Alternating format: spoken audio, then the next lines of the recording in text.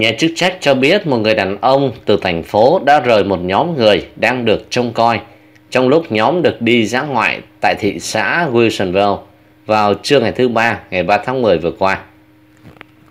Sở Cảnh sát Clackamas County Sheriff's Office hy vọng là có người nhận ra Huỳnh Tuấn Trung và giúp cho anh ta được trở về nhà một cách an toàn. Anh Trung năm nay 41 tuổi cần được uống thuốc và lần cuối cùng anh ta được nhìn thấy là anh đi bộ trên đường Southwest Main ở Wilsonville vào khoảng 1 giờ 30 phút vào chiều ngày 2 tháng 10. Huỳnh Tuấn Trung đã đội nón baseball màu xám, áo xám và quần cùng màu khi được nhìn thấy vào lần cuối. Anh ta cao 5 phút 7 và nặng 140 pounds. Nếu có ai thấy Trung thì xin hãy gọi vào số 503 655 8211.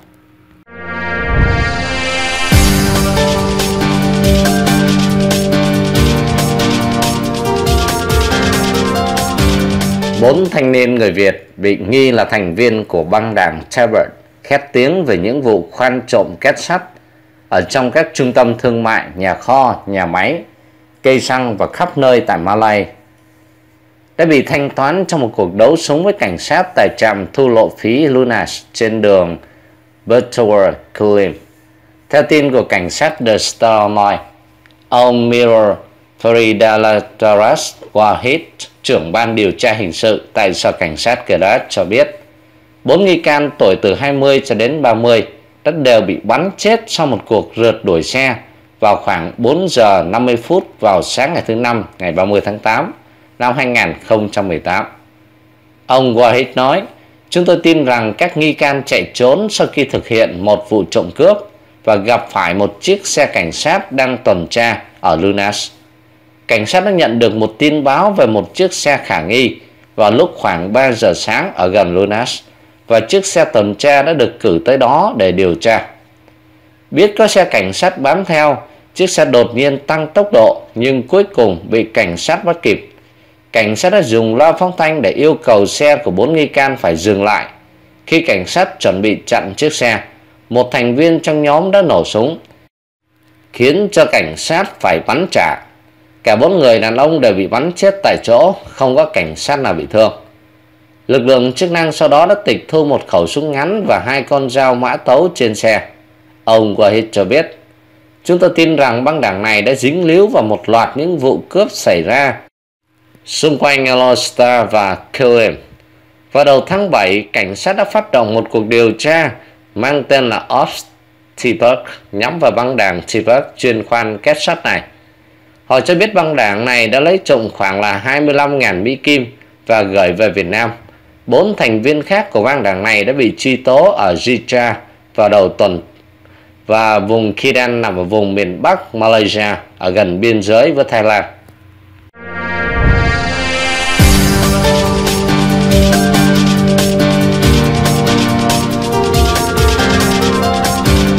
Thiệt mạng và một nạn nhân khác bị thương trong vụ nổ súng tại nhà hàng của người Việt ở phía đông thành phố San Jose. Theo báo San Jose Mercury News, vụ xả súng xảy ra tại nhà hàng bốn mùa ở số 1937 đường Toledo ở phía đông thành phố San Jose thuộc bang California. Ở tại hiện trường, cảnh sát phát hiện hai người đàn ông trúng đạn và đã lập tức đưa họ tới bệnh viện. Tuy nhiên, một người đã tử vong sau đó. Anh Tân Nguyễn có bạn gái là Ngô Nguyễn là chủ nhà hàng bốn mùa, Kẻ là nhận được cuộc gọi từ cô, cho biết là có chuyện đã xảy ra tại cửa hàng. Cô ấy đã rất sợ hãi. Anh Tân mô tả như vậy, cảnh sát thì chưa tiết lộ thông tin về nghi can. Đây là vụ án mạng thứ 9 tại thành phố San Jose trong thời gian vừa qua.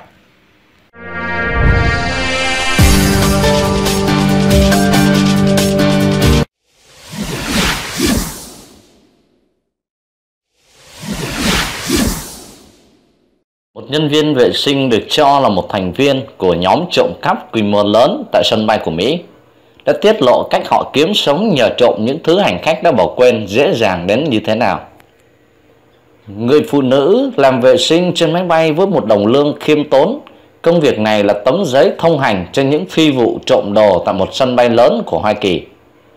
Tên của nhân viên này không được công bố, cô là đầu mối trong cuộc điều tra về văn trộm cắp quy mô lớn, gồm vô số nhân viên sân bay và giám sát viên, những người chỉ điểm đồ khách bỏ lại trên máy bay. Trong khi những vụ điều tra tại sân bay chủ yếu tập trung vào đồ đạc bị mất từ hành lý, thì lần này cảnh sát nhằm vào những tư trang bị bỏ quên sau ghế hành khách hoặc là khoang chứa hành lý phía trên ghế ngồi. Tôi nghĩ rằng mọi người có thể lấy đồ, tại sao tôi không thể? Tôi thấy những thứ rất đắt tiền. Khi tôi tìm thấy vật gì đó, họ nói rằng cô muốn thì cứ lấy, đừng báo cáo với ai. Nếu cô muốn làm thế thì đó là lựa chọn của cô, người phụ nữ trả lời với CNN như vậy. Không có ai giám sát những đồ vật giá trị nằm ngay đó như mời gọi. Cô nói, mỗi ngày khách hàng, hành khách để lại nhiều thứ khác nhau. Đôi khi là chứng minh thư, có khi là tiền, đồ chơi, đồ điện tử như iPad, đồ dùng cá nhân, vân vân. Vâng trộm kể trên chỉ là một ví dụ về mối nguy tồn tại trong hàng loạt sân bay Hoa Kỳ cũng như khắp sân bay trên thế giới. Vào đầu tháng 4, cảnh sát bắt giữ một nhân viên bốc xếp hành lý của hãng Delta Airlines tại sân bay quốc tế Palm Beach sau khi phát hiện là anh ta có một bao chứa là 282.400 USD. Nhân viên này khai nhận là anh ta được trả để chuyển tiền đến một người trong nhà vệ sinh của sân bay. Vào tháng 3 năm 2016, một tiếp viên của hãng JetBlue bị phát hiện khi đang vận chuyển 30 kg cocaine tại sân bay quốc tế Los Angeles. Và năm ngoái, cảnh sát sân bay công bố video cho do camera giấu kín ghi lại cảnh nhân viên bốc xếp trộm đồ từ hành lý ký gửi trong khoang máy bay tại sân bay quốc tế Miami. Mặc dù là việc lấy cắp iPad hay là điện thoại để quên trên máy bay không nguy hiểm như những vụ việc trên, cảnh sát nhận định rằng mọi hành vi vi phạm của nhân viên sân bay đều là một mối nguy hại. Chính những con người này có thể tiếp cận nhiều khu vực được bảo vệ nghiêm ngặt tại sân bay và máy bay. Ngoài ra, nhân viên an ninh hoàn toàn có thể trở thành đối tượng cho tội phạm hoặc là khủng bố lợi dụng và khống chế. Trả lời với CNN, cảnh sát cho biết là hành khách có thể để quên đồ trên máy bay và không trình báo. Trong nhiều trường hợp hành khách có khai báo thất lạc, cảnh sát lần ra vị trí điện thoại và iPad tại nhà của những nhân viên sân bay nhờ hệ thống định vị. Một thám tử cho biết nhân viên vệ sinh và công nhân bảo trì lấy đi những món đồ mà họ không thể mua. Đôi khi cảnh sát tìm thấy đồ thất lạc trong các tiệm cầm đồ. Chúng tôi xây dựng thông tin từ nhiều cá nhân để xác định những đối tượng khả nghi. Chúng tôi đang cố gắng gửi đi một thông điệp rằng những nhân viên trung thực sẽ được tôn trọng, còn những cá nhân vi phạm đạo đức sẽ bị loại khỏi tổ chức. Bởi họ khiến ban quản lý sân bay phải thực hiện những thỏa hiệp không đáng có, ông nói như vậy. Đối với hành khách khi tiếp viên nhắc nhở hành khách kiểm tra ghế ngồi, ngăn đựng đồ sau lưng ghế và thu dọn toàn bộ tư trang trước khi rời máy bay, bạn hãy làm theo bởi có thể chỉ vài giây sau chiếc iPad bạn để quên có lẽ sẽ không còn ở đúng chỗ nó bị bỏ lại. Hành lý ký gửi cũng không được bảo đảm an toàn khi kẻ xấu có thể mở khóa kéo dễ dàng bằng một bút bi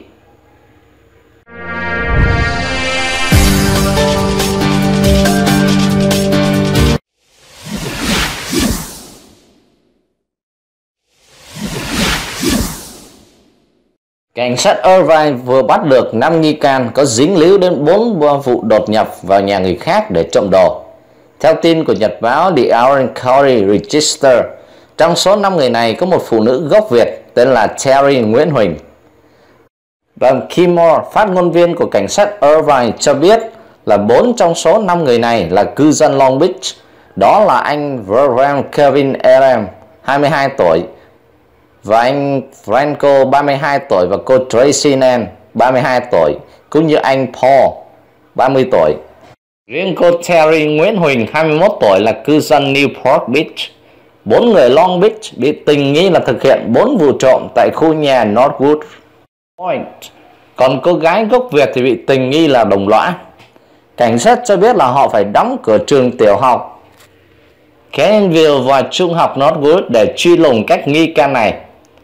Và cho biết vào độ 11 giờ 30 vào ngày sáng thứ tư, có người bị gọi cảnh sát báo là có một căn nhà trên đường Linfield đang bị trộm. và các nghi can đang chạy khỏi hiện trường trên một chiếc Lexus màu đen. Khoảng một giờ đồng hồ sau, một cảnh sát viên phát hiện ra chiếc xe này nằm gần công viên Middlewood và lập tức chặn lại. Có bốn người ngồi bên trong chiếc xe.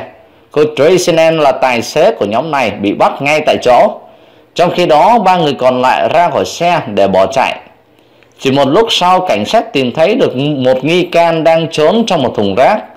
Khoảng 2 giờ 50 chiều hôm đó, một người phụ nữ sống trên đường Montrose phát hiện hai nghi can còn lại từ gara nhà bỏ chạy ra. Hai nghi can này chạy một lúc rồi chạy vào một căn nhà ở đường Rotten và bị bắt ở đó. Nhờ máy bay của cảnh sát tiểu bang và cảnh sát Anaheim giúp đỡ, cảnh sát Irvine dễ dàng tìm ra bốn nghi can này. Bắt được hết bốn nghi can rồi, cảnh sát nhận, nhận được tin một vụ khác đang xảy ra ở đường Trollflower. Rất gần hiện trường của những vụ trộm vừa xảy ra. Khoảng 5 giờ 30 chiều là cô Terry Nguyễn Huỳnh đang đi trên một chiếc xe thì bị cảnh sát bắt. Người dân tại khu nhà North Pond thấy cô có hành vi khả nghi nên đã gọi cho cảnh sát. Bà Mo cho biết là cảnh sát nghĩ rằng cô Terry có mặt tại khu nhà này để chở bốn nghi can kia chạy trốn. Cảnh sát Irvine tìm thấy là một số tiền mặt và tài sản bị cướp, các nghi can còn bỏ lại trong lúc chạy và vẫn đang tiếp tục tìm kiếm thêm những món đồ bị mất cắp còn lại.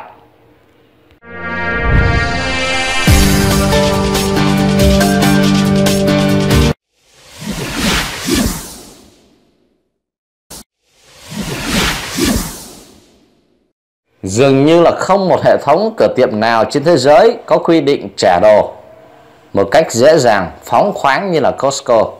Nghĩa là về căn bản khách hàng có thể trả lại bất kỳ món hàng nào đã mua, bất kể mua từ đời nào. Và được thối lại đầy đủ số tiền đã bỏ ra.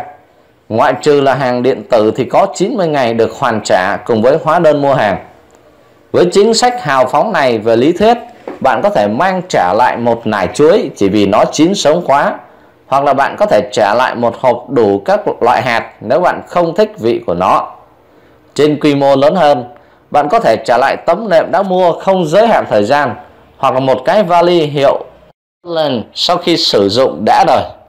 Tuy nhiên, một số ít khách hàng đã lạm dụng chính sách hoàn trả của công ty một cách thái quá. Trong một đề tài của Reddit dành riêng cho nhân viên Costco có chủ đề món hàng kinh dị nào đã được mang trả lại Costco. Nhiều người đã và đang là nhân viên của Costco chỉ dùng nickname để kể lại những thứ kinh dị mà họ nhìn thấy khách hàng mang trả lại sau khi mua. Một hộp quần lót đã được mở ra. Nếu còn nguyên gói bao bì, nó có thể được trả lại cho nhà cung cấp sản phẩm. Nếu nó đã được sử dụng, cũng có người chịu mua nếu cửa hàng bán với giá rẻ. Đôi khi, những hộp đồ lót đã bị mở ra như thế sẽ bị vứt luôn bởi vì nhà cung cấp không muốn nhận lại hoặc là các đại lý cũng chẳng có hứng thú, quan tâm vì bất cứ lý do nào. Đó là điều một người ở làm ở Costco chia sẻ và chứng kiến như vậy. Còn đối với trường hợp một chai rượu không, người có nickname JB kể lại, một người phụ nữ đã mang trả lại một chai rượu chả còn giọt nào với lý do nó làm cô ta bị nhức đầu khi uống. Cũng thật nực cười với một cái trường gà đã xài. Nhân viên ở Costco cũng đã chia sẻ là người có 8 tháng làm việc ở Costco cho biết điều tệ hại nhất mà tôi từng thấy là người ta mang trả lại một cái chuồng gà đã xài rồi và bắt đầu bị mục. Cái chuồng vẫn còn dính đầy phân gà. Mọi người đều nhìn chầm chầm vào cái gia đình mang cái chuồng gà đi trả. Anh chàng kia đã mua cái chuồng gà trên online từ năm ngoái. Dĩ nhiên, theo quy định, người quản lý vẫn đồng ý trả lại tiền đầy đủ cho gia đình anh chàng kia đối với một cái máy tính sách tay cũ nhưng không phải là cái đã từng mua, vài tháng trước có một ông mang đến trả lại một cái máy tính sách tay mà ông ta nói là mới mua trên mạng được 2 tuần. Không sao cả, ông ta có thể trả lại trong vòng 90 ngày nếu như ông ta không thích cái laptop đó. Nhân viên nhớ lại và kể lại một cách chi tiết. Nhân viên này kể tiếp, tuy nhiên, cái mà ông đó mang trả không phải là cái laptop mới, order từ Costco ông ta trả lại một cái laptop đã hư, đã cũ, đã mua từ 8 năm trước mà nó cũng không cùng nhãn hiệu nữa chứ. Ông ta chơi trò gỡ cái nhãn má hàng trên laptop mới mua rồi đem dán nó vào cái cũ rít để mang trả lại cho Costco. Một nhân viên khác của Costco chia sẻ, thường là vài tháng sau khi quầy bán cây kiểng đóng thì nhiều người mang trả lại những cây cối mà họ làm chết vì không biết chăm sóc. Rồi vào mỗi tháng riêng người ta lại mang đi trả lại những vật trang trí mùa Giáng sinh. Tương tự như thế, tháng 9 thì bà con lại vác đi trả những vật dụng đã mua sử dụng trong mùa hè như là quần áo tắm, phao bơi, đồ che mái. Nói thiệt là tôi muốn sống một cuộc sống như thế, sống mà không cảm thấy xấu hổ khi thực hành tiết kiệm tiền bằng cách giống như những người đó. Thật là một nỗi xấu hổ. Một chuyện còn nực cười hơn nữa là một con cá 13 tuổi. Người phụ nữ đã để quên con cá trong tủ trữ đông và quên bén nó đi. Giờ bà ta mang đến cửa hàng, đòi trả nó, lấy lại tiền. Khi chúng tôi nói không được thì bà ta la toán lên, làm ầm ĩ, náo loạn hết. Nếu tôi nhớ là không lầm thì cuối cùng người quản lý đã để cho bà ta trả lại con cá già Và hoàn tiền đủ cho bà ta. Một người khác làm ở Costco đã chứng kiến cảnh này và cũng chia sẻ lại như vậy. Người này nhớ lại điều hãi hùng mà mình chưa từng chứng kiến trong cuộc đời của mình bao giờ. Gói thịt bò cũng có thể trả lại được. Thực là nực cười. Gói thịt bò được đóng trong bao bì với giá là khoảng 200 đồng trong mùa lễ hội. Rồi sau đó mang một cái thùng đựng xương và mỡ đã nấu chín đến trả. Vậy mà họ cũng vẫn được hoàn tiền lại đầy đủ. Thiệt là trận trắng mắt luôn một người làm ở trong Costco nhớ lại một cái cảnh tượng lạ lùng như vậy. Nhân viên lấy tên là BC lại có một kỷ niệm một người mang đến trả lại chiếc máy rửa nhà mua. Đã được 15 năm rồi, món hàng cũ nhất mà tôi từng thấy người ta mang đến trả để đòi tiền lại là một cái máy rửa nhà. Họ trả với lại lý do là nó không hoạt động nữa. Nhưng có phải là quá lố bịch không khi mà cái máy đã được mua lâu đến chừng ấy thời gian?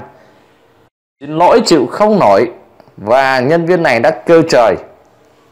Thứ tệ nhất là tôi thấy người ta mang đi trả là những tấm hình mà họ mang tới rửa. Họ cứ rửa hết đống hình họ chụp, Xong rồi trả lại cả trăm tấm mà họ không thích. Tấm thì tối quá. Tấm thì bị đỏ mắt và yêu cầu trả lại tiền. Có người còn ngon lành hơn nữa khi họ mang hình đến trả với lý do là cách khung hình ở nhà họ là 57 mà họ lại đi rửa 46 khi về gắn vào nó không vừa, cho nên họ đem đến Costco họ trả lại. Còn một khách hàng khác là muốn trả lại cái bàn chơi ping pong ngoài trời mua từ 10 năm trước, họ nói nó được xếp vào loại bàn chơi ngoài trời, nghĩa là nó được đặt ngoài trời, đúng không? Tuy nhiên, các yếu tố thời tiết ở Florida, nơi mà gần nửa thời gian là mùa mưa bão, đã không thích hợp với nó. Khung kim loại bên ngoài bị rỉ sét, một vài tấm chắn bắt đầu bong chóc, và giờ sau 10 năm mua về, họ muốn trả để lấy lại tiền. Nhân viên Island tường thuật. Bản thân tôi từng chứng kiến một người đàn ông trở tới Costco Fountain Valley, một cái hộp cũ kỹ, Trong đó có cánh cửa lớn. Nhân viên quầy trả đồ, đứng kiểm tra trên máy tính một hồi, Rồi nghe họ nói chuyện với nhau. Mới biết ra là cánh cửa đó mua từ năm 1996 Nhưng quan trọng hơn là sau khi coi tới, coi lui, Họ trả lời với người đàn ông rằng món hàng đó chưa từng được bán ở Costco. Còn bạn bạn đã từng chứng kiến người ta lạm dụng chuyện trả đồ như thế nào ở Costco bao giờ chưa?